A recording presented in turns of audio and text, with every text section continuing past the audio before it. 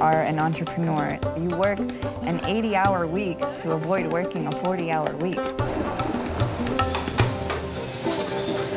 It's almost like we were fated to be in Little India. You know, my mom and dad both worked here, my husband was here, and now I'm here. She's from a social work background, and now she's running a 400-seater restaurant. They just didn't take me seriously.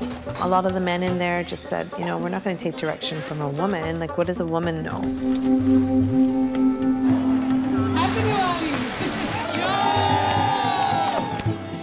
All kinds of foods are here, spices are here, paan is here, dresses are here. You name it, and Gerrard India Bazaar has it for you. I love living on top of the store. Okay, where's that blue fabric? Growing up on Gerrard, I had like a dozen uncles and aunties watching me. If I was doing something wrong, they'd come to dad and mom and say, well, she's, she's up to something.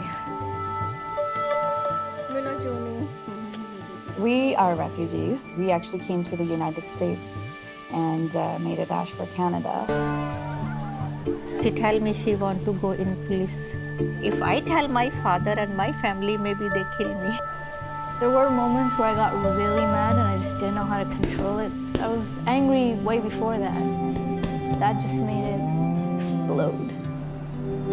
This is one I wanted for the rap for sure. You know, it's really As an different. engagement. As an engagement piece, yeah, yeah. It's the main reason I ordered it. Just because it was so nicely elegant. Plus the crystals, I think they're gonna really shine on the ramp.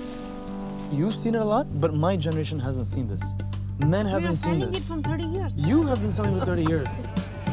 I think for a long time in South Asian fashion, there's been a lot of bling, there's been a lot of over-the-topness. Right now, it's one word I would say regal. I mean, don't think princess, think a queen. And I think that's what's coming into fashion right now.